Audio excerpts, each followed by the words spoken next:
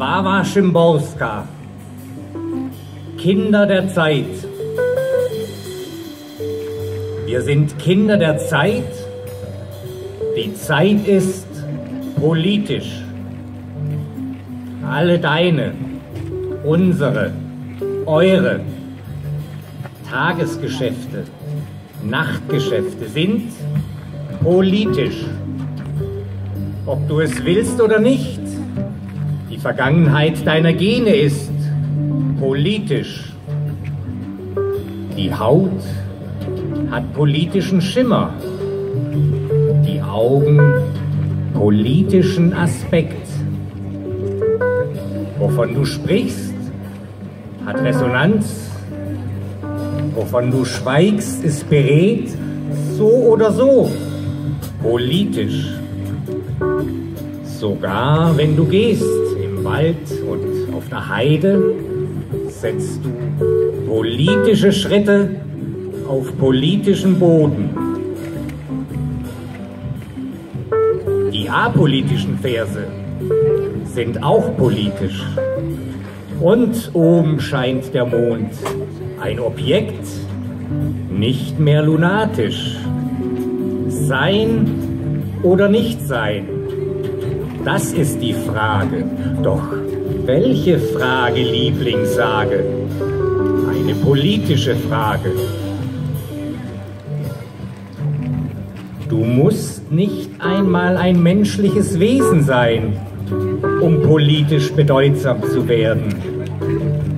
Es genügt, du bist Rohöl, Futtermittel oder Kunststoff oder Konferenztisch, um dessen Form monatelang gestritten wurde. Wie hat er zu sein, wenn man über Leben und Tod verhandelt? Rund oder eckig? Inzwischen vielen Menschen, krepierten Tiere, verbrannten Häuser und verwilderten Felder, wie in den uralten, nicht gar so politischen Zeiten.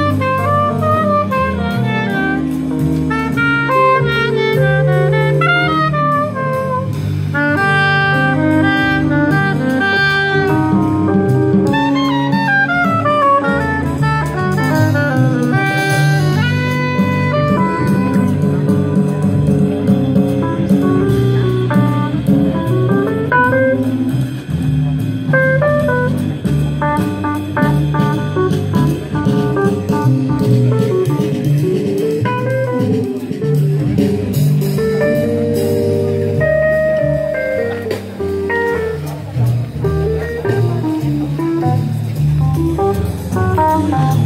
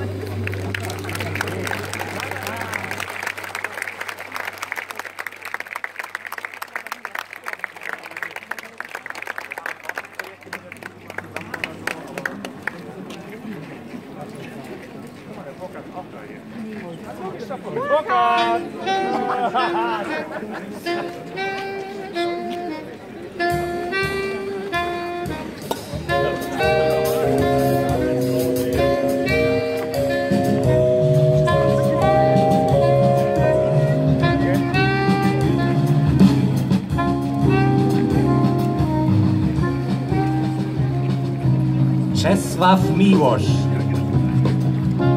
meine süße europäische Heimat. Der Falter, der sich auf deinen Blumen niedersetzt, befleckt seine Flügel mit Blut. Blut füllt die Kelche der Tulpen, schillernd als Stern auf dem Boden der Winden und spült das Korn deines Getreides. Deine Menschen wärmen ihre blauen Hände an der Wachskerze der Schlüsselblume und hören im Feld den Wind in den Läufen entsicherter Waffen heulen. Land, wo es keine Schande ist zu leiden, wo man bewirtet wird mit dem Glas Galle, auf dessen Grund das Gift der Jahrhunderte lauert. In deinen zerrissenen Abend der nassen Blätter, an Gewässern, in denen immer noch Rost verfallener Rüstungen der Zenturien fließt, am Fuß zerschmetterter Türme, im Schatten der Spindel, wie ein Schatten von Äquadukten unter dem ruhigen Baldachin aus Eulenflügeln. Der rote Mond vom Reif der Tränen geköpft.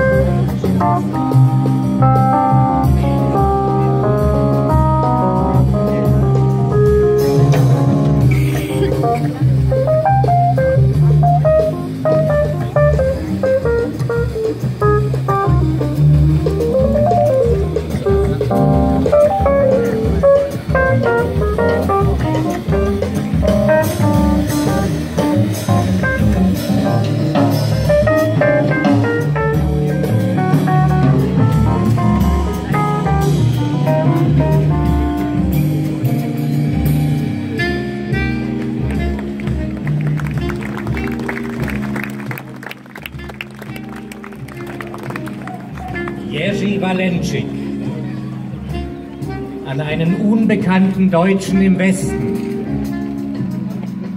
Glaub ihnen nicht, wenn sie dir von mir sagen, er ist ein Feind in den Boden mit ihm, damit das neue Europa keime. Glaub ihnen nicht, wenn sie dir sagen, zünde sein Haus an, glätte die Asche darüber, denn Feuer und Asche erfüllen die Zukunft. Halte mich nicht für einen, der dich überfallen möchte, wenn du im Garten besinnlicher Träume wandelst, zwischen violetter Nacht und blühendem Morgenrot. Der du mein ferner Bruder bist, Freund mit fremdem Namen, unbekannten Zügen. Es ist die Stunde der Reue für Jugend in Uniform. Es ist die Stunde der Reue für Gesten ohne Gefühl, für Kraft ohne Mitleid, für Jahre ohne Grün. Wolltest du wirklich die Räume verfeinden? Würde das wirklich deine Mutter freuen? Würde das wirklich die Liebe deiner Frauen wecken? Ich und du bedeuten nicht mehr als 60 Jahre. Wir werden geboren, wir zeugen, sterben, weinend, lachend, betend.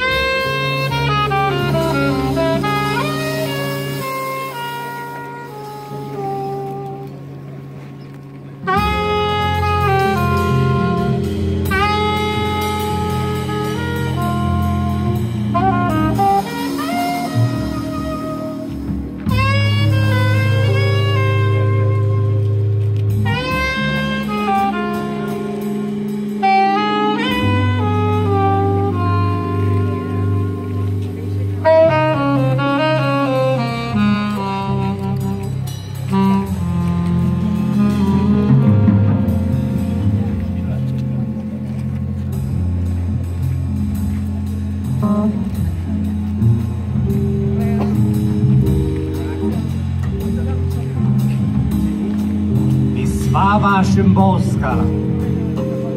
Ein Jahrhundert geht zu Ende. Es hatte besser sein sollen als die vergangenen. Unser 20. Jahrhundert. Ihm bleibt keine Zeit mehr, das zu beweisen. Gezählt sind die Jahre, der Schritt schwankt, der Atem geht kurz. Zu viel ist geschehen, was nicht hat geschehen sollen. Und was hat kommen sollen, kam leider nicht. Es ging auf den Frühling zu, hieß es, und unter anderem aufs Glück. Die Angst hatte Berge und Täler verlassen sollen, die Wahrheit schneller am Ziel sein sollen als alle Lügen. Einige Unglücksfälle sollten nicht mehr geschehen, zum Beispiel Krieg, Hunger und so. Die Wehrlosigkeit der Wehrlosen, das Vertrauen und so weiter sollten Achtung genießen. Wer sich an der Welt hat freuen wollen, steht vor der Aufgabe, die nicht zu erfüllen ist. Die Dummheit ist gar nicht zum Lachen. Die Klugheit ist gar nicht lustig. Die Hoffnung ist nicht mehr das junge Mädchen, etc etc. Leider. Gott sollte endlich glauben dürfen an einen Menschen, der gut ist und stark. Aber der Gute und Starke sind immer noch zweierlei Menschen.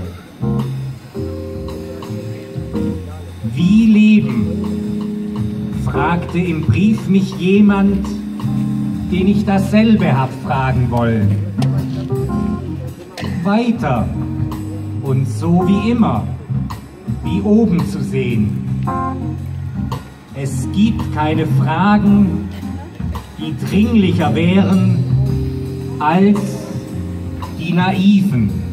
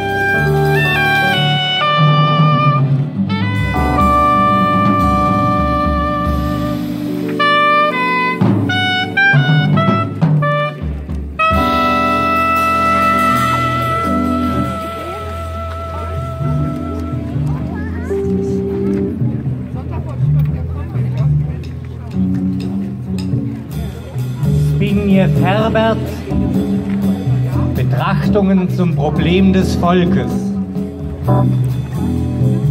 Aus der Tatsache, dass wir die gleichen Flüche und ähnliche Liebesschwüre gebrauchen, werden zu dreiste Schlüsse gezogen. Auch die gemeinsame Schullektüre reicht als Prämisse nicht aus, um zu töten. Ähnlich verhält es sich.